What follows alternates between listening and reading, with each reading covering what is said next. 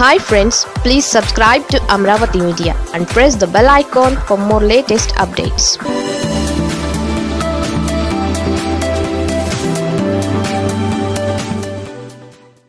టీడీపీపై BJP దూకుడు పవన్కు ఇష్టం లేదా? ఏపీ బీజేపీలో చాన్నాళ్ళ తరువాత ఓ స్పష్టమైన మార్పు కనిపిస్తోంది. ఒకప్పుడు కాంగ్రెస్ పార్టీని మాత్రమే టార్గెట్ చేస్తూ టీడీపీని భుజాల మీద మోసిన బీజేపీ అందుకు తగ్గ ఫలితాన్ని అనుభవించింది.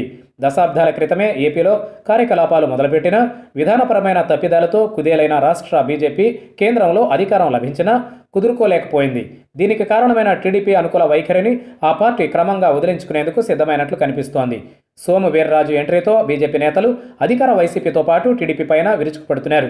దీంతో ఇప్పుడు వైసీపీ కంటే ఎక్కువగా బీజేపీని సోషల్ మీడియాలో టార్గెట్ చేసేందుకు టీడీపీ తీవ్ర ప్రయత్నాలు చేస్తోంది. ఏపీ బీజేపీ అధ్యక్షుడిగా సోము వీర్రాజును అధిష్టానం ఎంపిక చేసేటప్పుడు ఆయనకు చేసిన దిశా నిర్దేశం టీడీపీ అనుకూల పార్టీగా ఉన్న ముద్రను చెరిపివేసుకోవడం రాజకీయాల్లో శాశ్వత శత్రువులు శాశ్వత మిత్రులు ఉండరన్న నానుడిని గుర్తుపెట్టుకుని అవసరమైతే ఎందాకైనా వెళ్ళేందుకు అవసరమైన స్వేచ్ఛను సోము వీర్రాజుకు కట్టబెట్టింది. దీంతో ఇదే విషయాన్ని ఎంట్రీ ఇవ్వగానే ఆయన పార్టీ నేతలకు స్పష్టం చేశారు. జనసేన మినహా అన్ని పార్టీలను టార్గెట్ చేయాల్సిందేనంటూ అధిష్టానం చేసిన సూచనకు అనుగుణంగా సోము ఇప్పుడు చెలరేగిపోతున్నారు. వైసీపీ ప్రభుత్వాన్ని టార్గెట్ చేస్తూనే విపక్షంలోని టీడీపీని సందు దొరికినప్పుడల్లా చీల్చి చెండాడుతున్నారు. సోము వైఖరి చూశాక పార్టీలోని విష్ణు వంటి నేతలు కూడా టీడీపీపై రెచ్చిపోతున్నారు. కేంద్రంలోని బీజేపీ గత కొన్నాళ్ళుగా సోషల్ మీడియా వేదికగా కాంగ్రెస్ పార్టీకి ఏ విధంగా చుక్కలు చూపిస్తుందో అందరూ చూస్తూనే ఉన్నారు. ఏకంగా ఫేస్బుక్ వంటి సోషల్ దిగ్గజాన్ని సైతం తమ వైపు తిప్పుకొని తాము చేసే విద్వేష పోస్టులకు ఎలాంటి ఇబ్బంది లేకుండా చూసుకుంటున్న చరిత్ర బీజేపీది. అలాంటి కాషాయ పార్టీపైనే టీడీపీ ఏపీలో సోషల్ వార్ ప్రకటించింది. ఆ పార్టీ నేతలు సోము వీర్రాజు జీవీఎల్ నరసింహారావుపై గతంలో ఎన్నడూ లేని విధంగా కులముద్ర వేస్తూ టీడీపీ సాగిస్తున్న వార్ ఇప్పుడు సర్వత్రా చర్చనీయాంశంగా మారిపోయింది. ఇప్పటి వరకు వైసీపీపై రెడ్డి ముద్ర వేసి సాగిస్తున్న వార్ను బీజేపీ నేతలపైకి మళ్ళించడంతో వారు పోలీసు ఫిర్యాదుల వరకు వెళ్ళారు.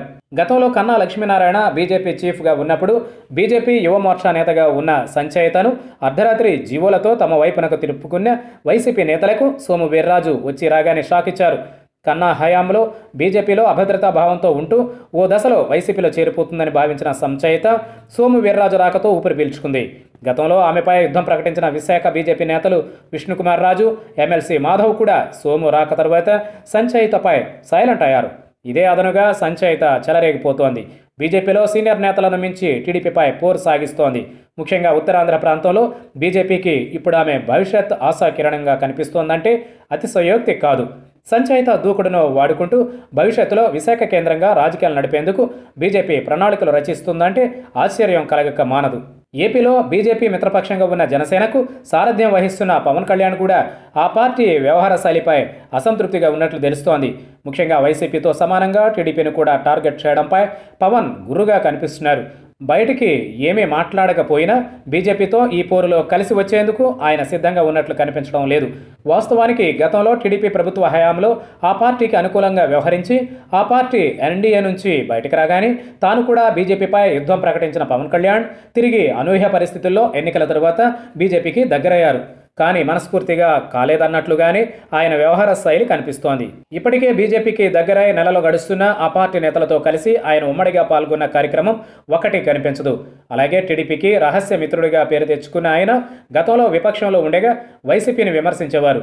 ఇప్పుడు అధికారంలో ఉన్నా విమర్శలు చేస్తున్నారు. ఈ రెండింటికి పెద్దగా తేడా లేదనే చెడ్డ పేరు తెచ్చుకున్నారు. అలాగని బీజేపీ నేతలతో కలిసి వైసీపీ టీడీపీని టార్గెట్ చేస్తున్నారా అంటే అది లేదు. కానీ ప్రస్తుతం వైసీపీతో సమానంగా టీడీపీని సైతం టార్గెట్ చేస్తున్న బీజేపీపై ఆయన గురుగా ఉన్నట్లు తెలుస్తోంది. అలాగని ఇప్పట్లో ఆయన మిత్రపక్షం బీజేపీతో కలిసి వైసీపీపై యుద్ధం చేసే పరిస్థితులు కూడా కనిపించడం లేదు.